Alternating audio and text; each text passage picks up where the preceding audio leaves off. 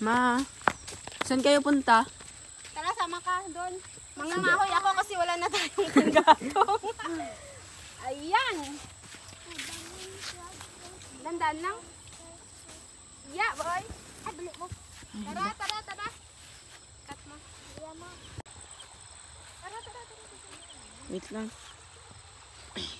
Tara, tatawid tayo sa ilog. Dandahan ng yata.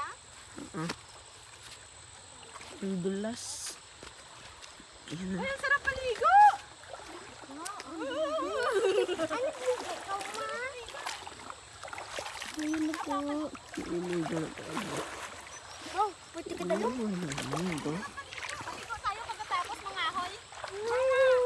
Dalo. Ah, lalim. Hello. Ano? Tara, dandahan lang. Tara guys, tawid tayo doon. Bye! Okay na yan. Tara!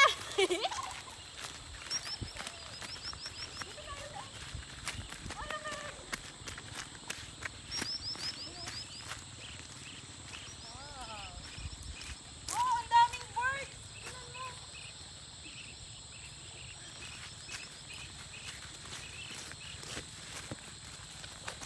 Dandahan ka lang, te, ah. Naano mo na? Ano? Hindi ang babaw. Ano nak? Ito kasama ko yung dalawa kong anak. Mga ngahoy kami. Di- Doon, doon, doon, doon. Mga ngahoy kami. Para tipid sa gasol. Ayan no, pag masipag ka lang dito, libre lahat. Ano ko, lalim manok. Ay, ay.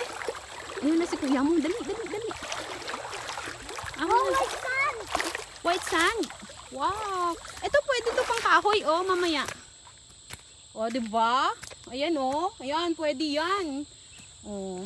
Tapos dito na kami sa Boracay, sa White Sand. Ayan oh, hindi mo na kailangan ng itak. Ayan, bali-baliin mo lang. Dito 'yan sa puno na to galing. So, ito magandang panggatong. Mga ganitong klase. Ayan. Kasi, meron kaming kalan di diuling, meron ding kalang pangkahoy, at meron ding panggas. So, kahit alin na lang. Ayan. Tipid. Para makatipid, diba? So, ayan. Tapos papasanin natin. Ayun bahay namin.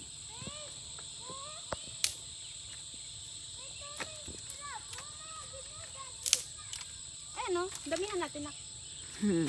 Ito, nakaraan, puro kawayan yung kahoy natin. Pero ngayon, ah, ito kasi, ma, ano to, maganda to, may baga.